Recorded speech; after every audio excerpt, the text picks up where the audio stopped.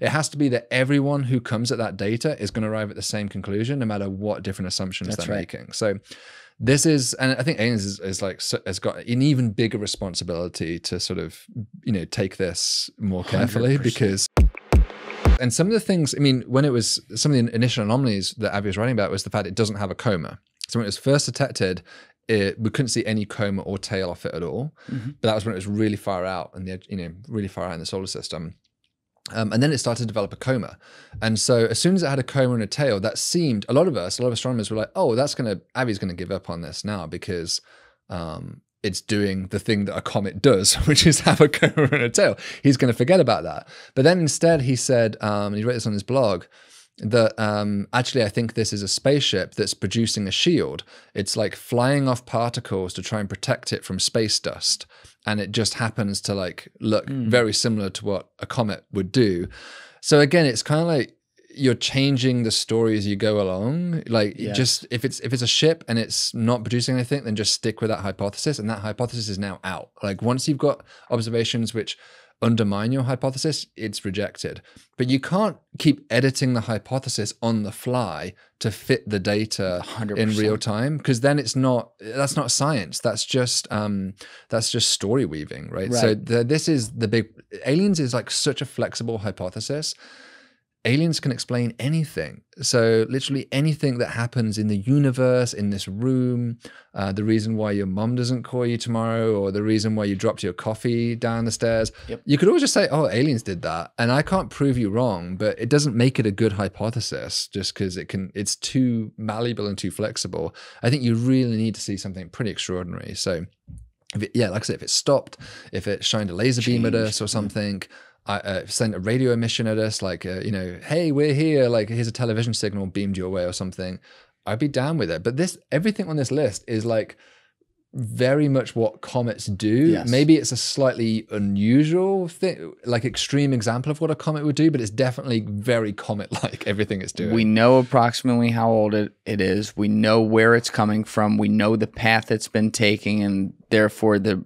projected path it's going to take past that. Mhm. And it hasn't, like you you gave an example early on in the conversation, like, well, if it suddenly went up or down or all Yeah. around, or- okay, you might think like something's maneuvering that, but it hasn't. There's no evidence to show it's done any of that. Right. And I can't disprove a negative. No one can. So I can't prove to anyone here who's listening who really believes this is an alien spaceship. I can't prove to you it's not an alien spaceship Mm. because you can't. You can never prove that something is not alien. I can't prove that anything in this room is not made by an Right. alien, right? It's impossible to do that. Hey guys, if you haven't already subscribed, please hit that subscribe button. It's a huge, huge help. Thank you.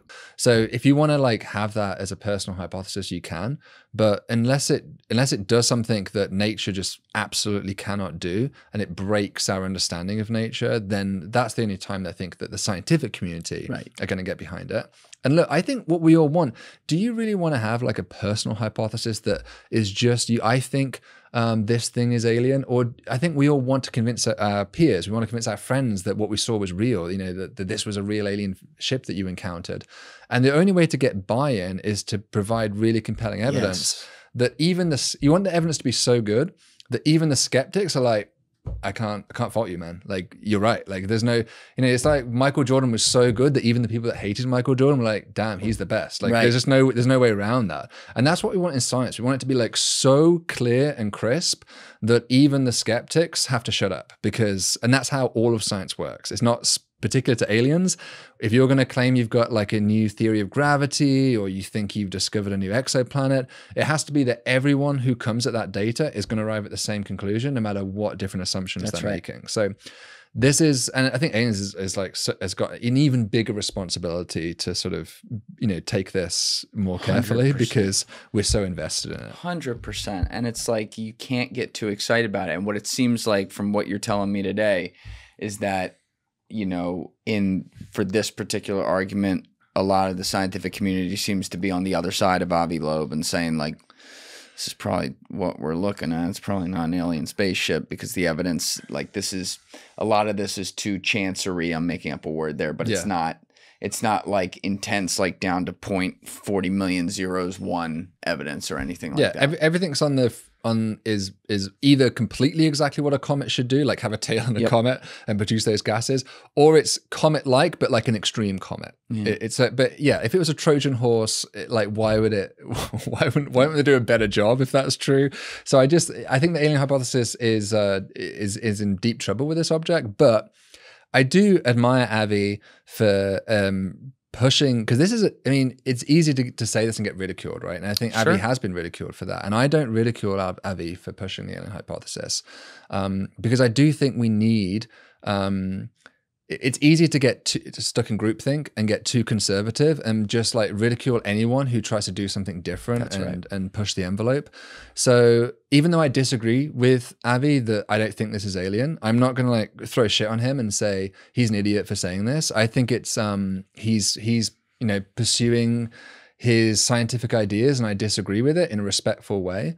Um, but I'm not gonna like personally attack him as saying like he's he's a doofus for like coming up with this Good. idea. That's Yeah. how it should be. This is what science is supposed Yeah. to be. We've lost sight of this in the modern era, and it's not just science. It's Right. fucking every part of culture. It's like you throw mud on each other to get more clicks, and therefore every everyone who disagrees with you is an idiot, and that doesn't get anyone anywhere. I've always said, you know. The greatest lie we ever perpetuated on humanity was that science and religion were competing.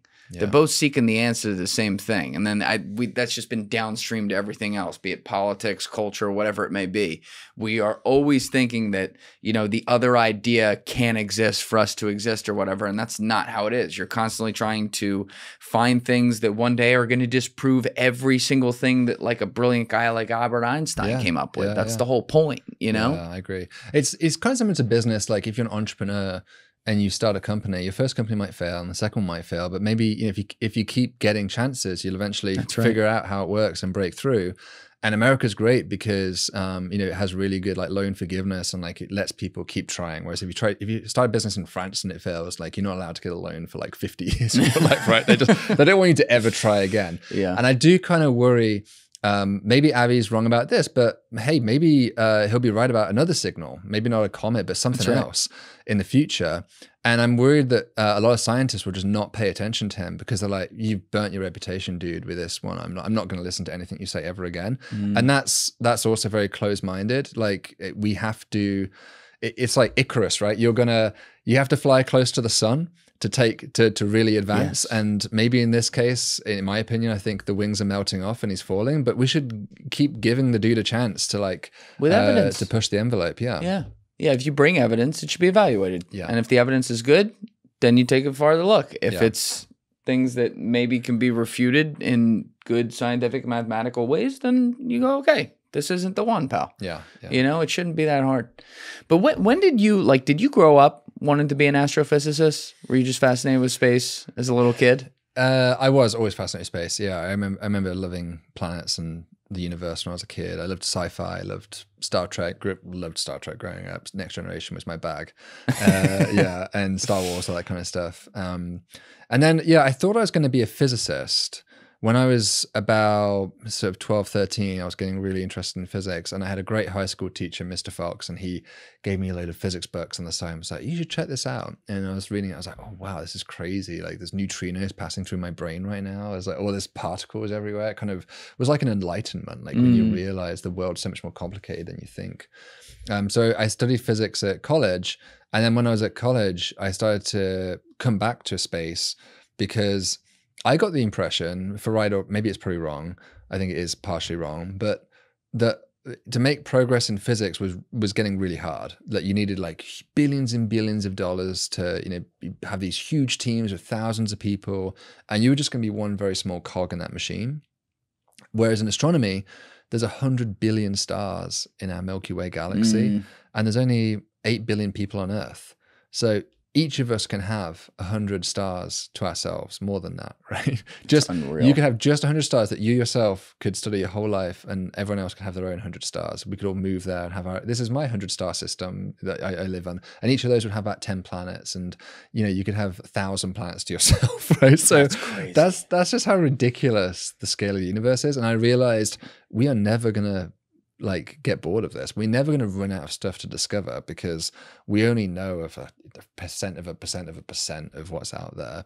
and in physics, it, it kind of, I'm sure there's a vast amount we don't know about as well. But it felt to me like all the rapid progress and discovery was happening in, in the universe. Yeah. Mm. So you start to take that journey through school itself, and then you get into that, and eventually, like, and you've mentioned this term several times today. I think you started to explain it once, but you developed a specialty in identifying exoplanets Yeah. and, and observing them. Yeah. So for people out there that just want to understand what that is, as a recap, what is an exoplanet? Yeah, it's just a planet that orbits another star. That's what it means. So exo means outside. Mhm. So extrasolar is is the full name, but we just shorten it to exoplanets. Um, so we know of about five thousand to six thousand exoplanets, I believe, at the time of writing, um, which is obviously a lot. We've only discovered those in the last twenty years. Uh, Five thousand to six thousand. about six, I think it's about six thousand confirmed planets now. Yeah, um, and the uh, the discovery started about 20, 25 years ago, and there's been a you know a rapid explosion in discovery over that time. And yeah, I was in college when the first ones were being discovered, and uh, to me as a young person, it was like this is. It's like the gold rush in San Francisco, right? Everyone, you know, as a young person, Yeah. you're like, this is where all the shit's happening. I want to get over there and pick up some gold for myself. And I've discovered myself like probably a dozen planets or something in my I don't even count them, but yeah, I've just I've found a fair few planets myself in my career, which is kind of wild to think about. You know, oh How yeah, do you find? How do you find one? so the way I there's a few different ways. The way I normally use is called the transit method, Okay. which is to look for eclipses, basically. So these planets are so far away, you know, thousands of light years away sometimes, that you can't possibly take a photo of them. They're just at that distance. The star and the planet are just a blob of light. Right. You can't possibly see them. But if the orbital inclination is correct, it will sometimes eclipse in front of the star. The same reason why we had like the, you know, when the moon eclipsed the sun because that solar eclipse.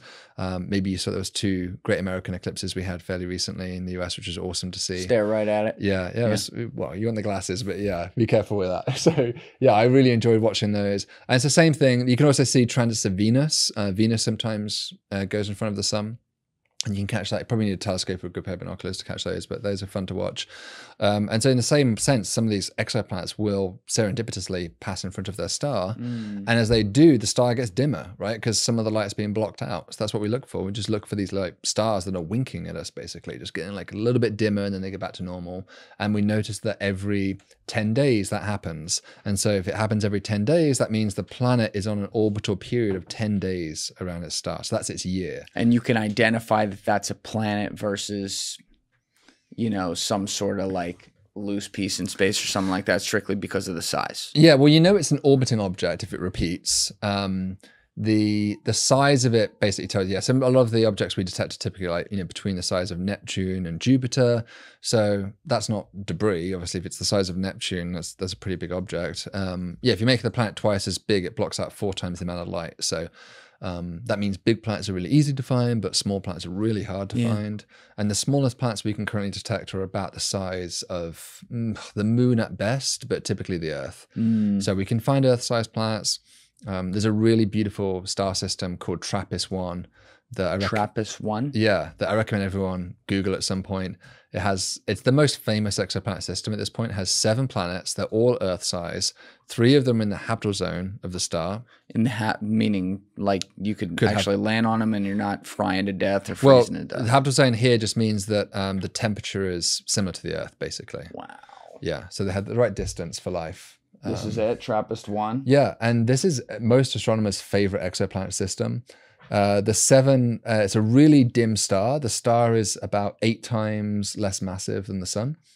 And so it's a really diminutive star. It's very red because it's so cool. And so the planets are actually packed in really close in. I think all seven planets are closer in than Mercury is around the sun, all seven of them. So, you know, like the they're kind of the same sort of distance that the moon is from us.